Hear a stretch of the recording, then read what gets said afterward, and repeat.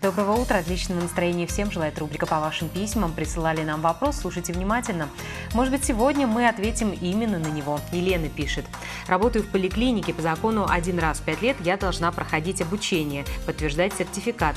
Очередное обучение я прошла в марте прошлого года. До сих пор работодателям учеба не оплачена. Сертификат получить не могу. Скажите, куда мне обращаться?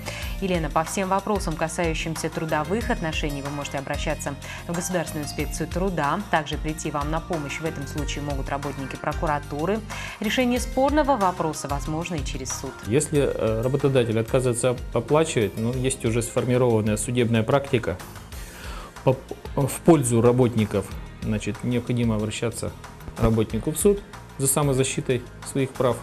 Если он член профсоюза, то мы поможем ему в этом. Э, Значит, по решению суда денежные средства потрачены на обучение. Если есть необходимость э, учреждения в сертификации, в лицензировании данного вида деятельности, эти денежные средства, потраченные на обучение, взыскиваются с работодателя по решению суда. Жанна Александровна прислала вопрос в адрес рубрики. Скажите, разрешено ли законом размещение на первом этаже жилого дома магазина ритуальные услуги? Жанна Александровна, в многоквартирных домах могут работать самые разные предприятия и компании общественного назначения, офисы, магазины и многое другое. Но исключения все же существуют. Они прописаны в СНИПе, который называется «Жилые здания. Точка многоквартирные». По разным принципам эти исключения действуют, ну, и в связи с, там, санитарно-эпидемиологическими требованиями, а, с пожарными требованиями.